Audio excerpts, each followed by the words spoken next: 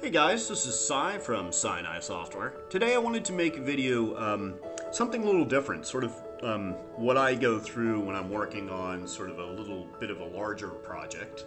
And when I first brought in geometry, just sort of check it and clean it up and, and get it ready to go for production. Um, so right now, it, you can't really see it. I don't know if it's screen capture or it's the geometry itself. Um, I have New York City um, which is a model that came from OpenStreetView, and you can see it is a mess. I mean, it has problems drawing the geometry itself. Um, it's typically what you'd get that comes into something with, um, you know, of course, uh, other uh, other programs that are not native to bringing into Max. So you get some strange geometry that goes on. Um, I'm going to open up our IgNite. Let me just hide the camera. And I'm going to need to do a couple of things to this scene. I'm going to want to, um, one, check it. I'm going to, two, I need to go um, probably weld a lot of stuff together. I'm going to need to go check for double faces. I'm going to need to reset the geometry. So this is sort of our pipeline of what we're going to do. So let me turn on stats here first, and so we can see what sort of verts and polys we're working with. The very first thing I'm going to want to do is I'm going to want to check my scene. So let's just open up Forensic here, and I'm going to run through this.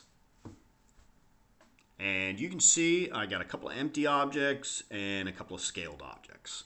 So let's go ahead and I'm going to delete my empty objects.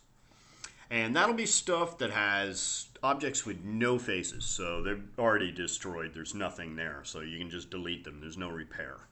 Uh, and I'm just going to go through and get my scaled objects. Um, it's not necessarily important um, scaled objects all the time. It depends on what you're working with. Um, if you're linking stuff up, if you're doing simulation stuff, link scaled things are a problem. Um, I'm going to go in and that looks pretty good. Let me just get rid of my empty layers and I'll do a quick scan. And the only problem I have now is I have one object with no material. And that happens to be my ground plane, so I'm not too worried about that. All right, so we've gotten to that stage. Now, the next thing I'm going to want to do is I'm still having a problem with this drawing geometry, the back faces, sort of the flickering, the nightmare that this stuff is in. So I'm going to select everything here, and I'm going to use our reset object. And this does a couple of things. It does more than just um, resetting the transform. Uh, and that has gone through. And now you can see geometry looks a little more stable. It's nice and clean. Um, well, it's not clean, of course, because it's it's still, you know, just basic geometry. There's probably double faces, all sorts of problems in here. They're probably all, none of this stuff is welded. There'll still be a lot of stuff to do. All right, so the next thing I'm probably going to want to do is I'm going to probably go look for all sorts of double faces. So, um, no, possibly the, the next thing I'll do is go weld this stuff um, because I'm guessing that none of this is welded and there's a whole bunch of extroverts and problems with this stuff. So I'm going to open up our uh, sculpt tool and you can see the verts here, the vert count. I'm going to set this really low so it's almost nothing and it's just going to weld verts that are next to each other. So let it go through its process and we'll see what it comes up with in the end. And this will sort of help us with our double faces as well, finding those.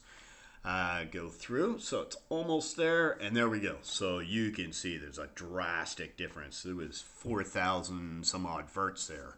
Now it's it's cleaned that up. So we can go in and we make sure, you know, all the details still somewhat there with all our models. So we haven't gone destroyed anything. Uh, and that's the thing, you want to make sure it's a super, super low setting that you're welding stuff together. So always like 0, 0, possibly 0, 0, 0, 1. So um, you just want to get stuff that was probably welded at one point and in the import process has had problems. All right, next step I want to go through is I want to look for double faces. Now, this one takes a little while to go through. There's a lot that it needs to do. Um, but the advantage of going through and checking for double faces is um, as it goes through, if it finds a double face, say it's on its third face that it's checking, it's going to kick that object out as, okay, it's got double faces. So it doesn't have to actually go through and check every face. Once it has one double face, we're going to flag it. Um, so that's where the checking process goes in. If you were to just go detach all double faces, it would take probably three times as long. So you want to do the find double faces first. And it'll eliminate a lot of geometry as well. So you can see we're almost done with this. And the welding process does help, trust me. Um, when I did this before as a test and I looked for double faces before I welded, it took about three times as long to do that. So we have our double faces here. And what we're going to do now, any object that is red is bad. any object that's green is good. Uh, we have a reset wire color, so don't even worry about any of that. So what I'm going to do is I'm going to select all our red stuff. And now I'm going to say detach double faces. So it's going to run through all these objects. And you can see it's pretty quick because it doesn't have to go through searching all the ones that we already checked now. We already know that these ones have double bad double faces. So it's almost done the process. What it's going to do is it's going to detach these and then leave them selected. So if I go here, and let's just move these up, you can see all the double faces out of all these buildings that have problems.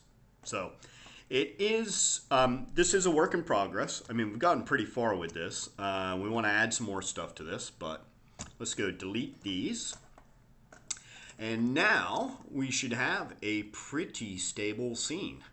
Um, one thing that I'll probably do is um, I would then in my next process would probably go and proxy these. Um, so the one thing that I would do is I would go through and probably select probably chunks of this stuff. And I'm not going to do the whole city because it would sort of take me a little while to go through and sort of select these into groups. So I'm just going to slowly, I'd go through and attach this stuff. And I'll just do a couple here. So, um, you know what? It won't be a perfect selection. I'm not, it's for demonstration purposes anyway. So I'd go sort of attach this up um, into chunks. Let's just go through, grab this. Let me deselect you and you, attach you together. All right, so we have a couple of objects here. And let me just zoom into these. And just for demonstration purposes, I'm going to take these guys now, and I'm going to isolate these. I'm going to go just throw a random wire color on here, so as I'm working on later on, I'll know my groups. And the last thing I'm going to want to do is I'll probably go through and I want to bulk proxy these. So I'm going to do these as an external file and we'll just display these as point cloud. And let's find a place to put this. So I'll put this on my desktop, create a new folder. We'll call this city test for now. So let's go city test and we'll go proxy these. All right, so it's going to go through. There we go. It's done. And that's our bulk proxy. So um, it's sort of going to make this, and we can actually display this. Oops, let me get out of this. We can actually go over here to our proxy. We can show this in full mesh. Um, or half mesh is a little easier. Uh, it's just, of course, going to be, it'll give you an idea of what the city is, uh, but it doesn't need to go show it in full mesh. Uh, point cloud for some things are great. You're not going to really get an idea of what this sort of city is doing um, unless you look at it in full or half mesh. Um, so that is the process that I would go in sort of cleaning up the scene and giving it something that I can use. Um, thanks a lot, guys. Hope you find this useful and check out some more of our videos.